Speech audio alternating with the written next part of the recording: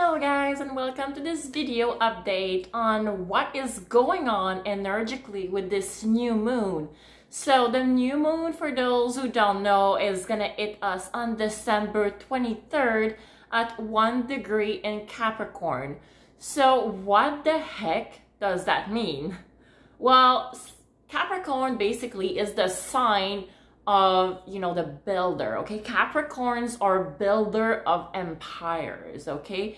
They are there to get stuff going on and to make money and to achieve success out of those things.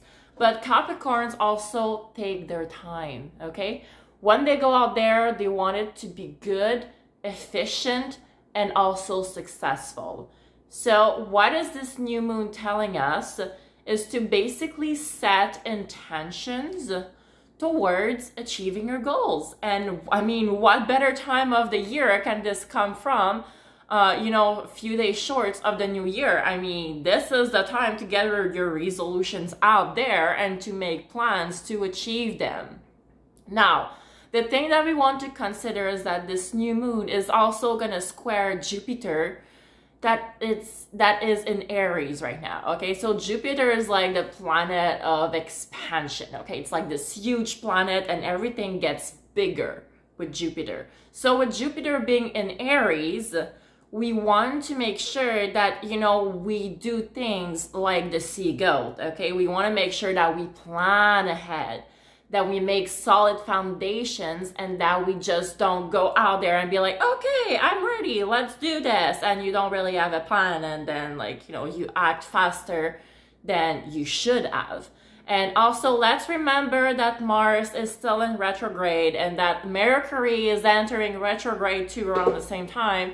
So we really want to make sure that we reflect upon things before happening, before doing them. Okay, we want to make sure that we do not rush into things, that we think, that we listen, listening, really important, before acting.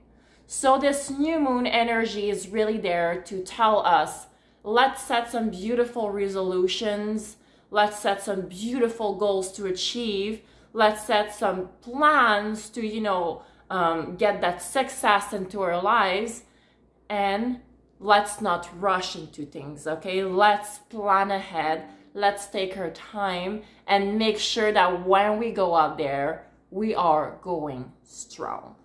So, happy new moon in Capricorn, folks, and I love you a lot. Mwah.